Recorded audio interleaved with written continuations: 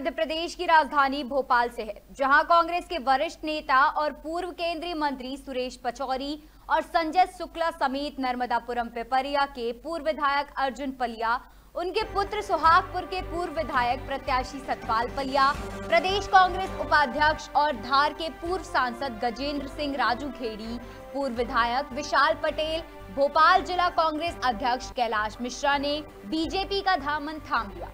कांग्रेस नेताओं ने बीजेपी कार्यालय में सीएम मोहन यादव, पूर्व सीएम शिवराज सिंह चौहान, प्रदेश बीजेपी अध्यक्ष वीडी शर्मा और मंत्री कैलाश विजयवर्गीय की मौजूदगी में बीजेपी की सदस्यता ग्रहण की। इसी क्रम में मध्य प्रदेश के सीएम मोहन यादव ने कहा कि दुर्भाग्य से कांग्रेस नेतृत्व ऐसे अच्छे लोगों की अनदेखी कर रहा है, जो देश की सेवा में काम करते हैं। कोई भी स्वाभिमानी व्यक्ति ऐसे माहौल में काम क्यों करना चाहेगा?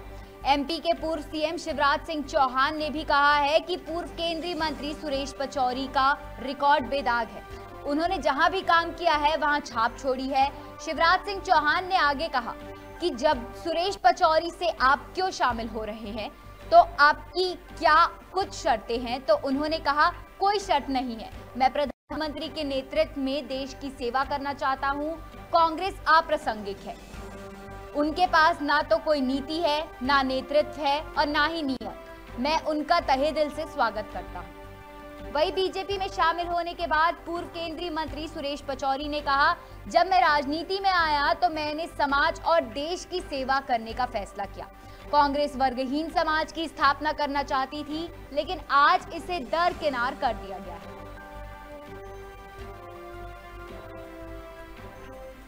सबसे पहले मैं महाशिवरात्रि के पावन पर्व पर आप सबको बहुत हार्दिक बधाई और शुभकामनाएँ देता हूँ।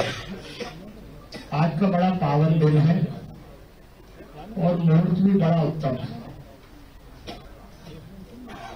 मैंने जब राजनीति में प्रवेश किया था तो मेरा ध्येय ध्येय था समाज सेवा और राष्ट्र सेवा का।